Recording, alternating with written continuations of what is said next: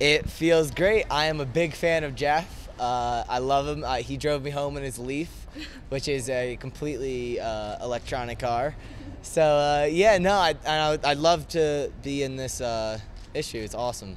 And tell us what was it like going and shooting with Jeff and, and having the photos featured in It was them? actually really awesome because I got there and uh, we kind of didn't exactly know what we were gonna do, and um, the hairdresser started doing my hair, and I was like, you know what?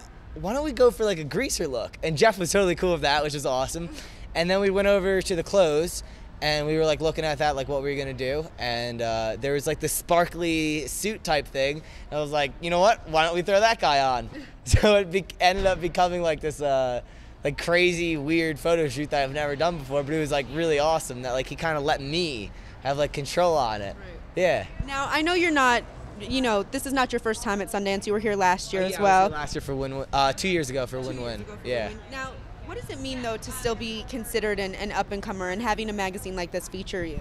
Uh, it feels great. It uh, it feels great that people are still really interested in me and um, following my career, and uh, it's, it's nice that people think that I'm on the verge. You know, it's it's great to be considered something uh, like that.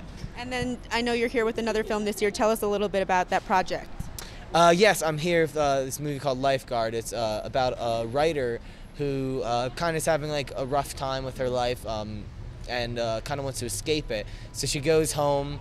Um, I actually know this perfectly right now because I just saw the movie a couple hours ago. Uh, so she goes home and um, she's in her hometown and she starts hanging out with her friends again. She gets kind of like a little like very old, not a little, very irresponsible. And then she starts hanging out with like us, like kids, me, me and um, my friends. And she gets really irresponsible, and then things take a twist, and they get really weird, but like very um, artistic and interesting. And uh, there's a whole bunch of twists and turns I don't want to ruin for you guys. And yeah, no, it was, a, it was a, an amazing experience. And the experience from Sundance two years ago to now, different, better, the same.